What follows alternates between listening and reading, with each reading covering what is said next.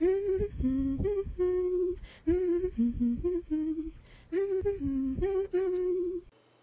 I'm going to be talking a little bit about the differences between Enneagram 1, the Reformer, or um, the Crusader, and Enneagram 8, which is called most often the Challenger. Um, and as I said in my intro video, not often are these types um, misidentified between.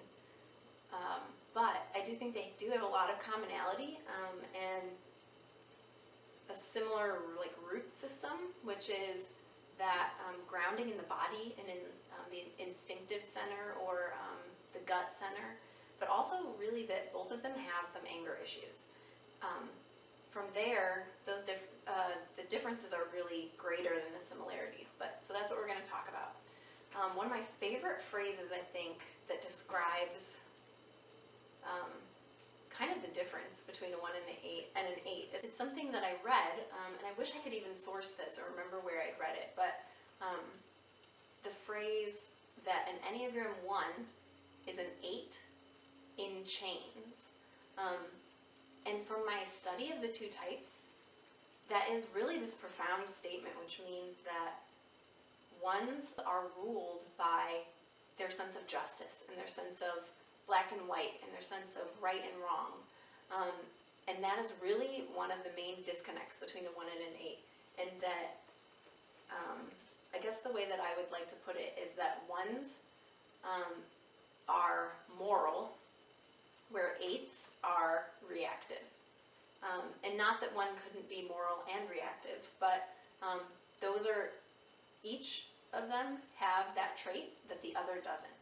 So a lot of times I think that we might look at a one as an eight in chains because they both have this anger within them, um, but ones, with another analogy that I've heard, are like a boiling pot of water where they are trying to keep the lid on. Whereas an eight, on the other hand, maybe a boiling pot of water, but they could care less if they keep the lid on. Um, there's not that um, there's not that attempt at social decorum that ones make because they care so much about um, what is right and what is good. Um, and that involves what other people think of them. And um, we know that eights do not struggle with this, um, mostly because whereas ones are concerned with good and right and justice, eights are mostly concerned with their own survival and their own independence. And a lot of times that um, means that their anger manifests domination of their environment. Uh, a lot of times I use like to use this analogy of a coffee shop, and this is regardless of type. We would say X type, how would they respond to this scenario in a coffee shop? Which is um, that when you're in a coffee shop and you've just ordered your coffee and you're waiting to get it, and the barista might be doing their job, they're making their coffee, and someone who may also be waiting for their coffee, perhaps in front of you, um, just is a total jerk to the barista and just lays into them over something silly like their latte's not at 105 degrees or um, there aren't enough pumps of syrup, whatever it is. But um, I believe a 1 and an 8 in this scenario would really respond differently and for different reasons. Um, we could say both a 1 and an 8 might engage. Um, both a 1 and an 8 might choose not to engage.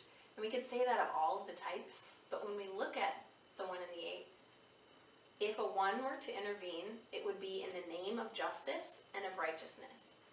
Um, whereas an 8's motivation for intervening would be, um, a lot of times I think 8's uh, sometimes intervene on the behalf of others because of their extreme distaste for control or of being controlled. So many times when they see someone else um, in a position of, I guess what I would call the underdog, then eights um, a lot of times will choose to liberate. There are, of course, other times that because of their independence, they would choose not to. Um, but I think that more often than not, eights have less of a ceiling on their anger. So we say that um, with 8, 9, and 1, which all have that anger piece, that um, nines are self-forgetting and that they are almost in denial of that anger, which manifests in like a stubborn, uh, I've heard it referred to as like a boulder in a stream. And that's how a nine's anger manifests in sort of that stubborn way.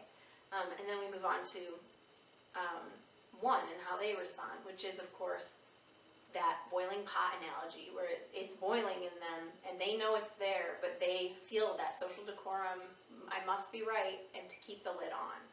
And then on the other end, we have an eight who uh, sees their rage as um, it's almost, I, I think of the SX4 when I think of this with eight, which is that it's this totally shameless rage.